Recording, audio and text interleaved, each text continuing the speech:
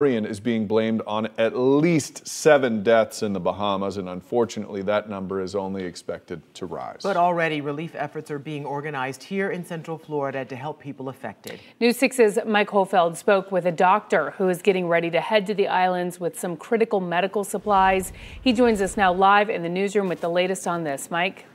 Thanks, Lisa. Hi, everyone. The first attempt to deliver 500 pounds of basic medical supplies by helicopter failed. Dr. John Shedd telling News 6 the crosswinds were too difficult, it was impossible to land. The target? Turtle Green Cay, a place he knows very well. Dorian's vicious dismantling of the Bahamas is a vivid reminder of what could have been for Central Florida and much of the state.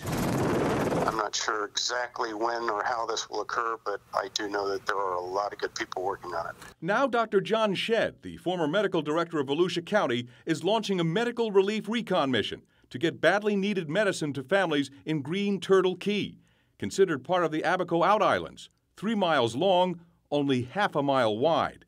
I spoke to him by phone Wednesday. As you can imagine, people are extremely desperate, and uh, to establish a landing zone now with a helicopter might be difficult because of the desperation. So we're doing our best to, you know, get the supplies there where they're needed. The challenge is logistics. Green Turtle can only be reached by boat. There is no airport so Shedd and his team are trying to secure a special amphibious aircraft. There's an amphibious Cessna Caravan that's on floats that has a, an incredible, uh, they, they can carry something like a 4,000 pound load. Shedd was the island doctor during Hurricane Katrina.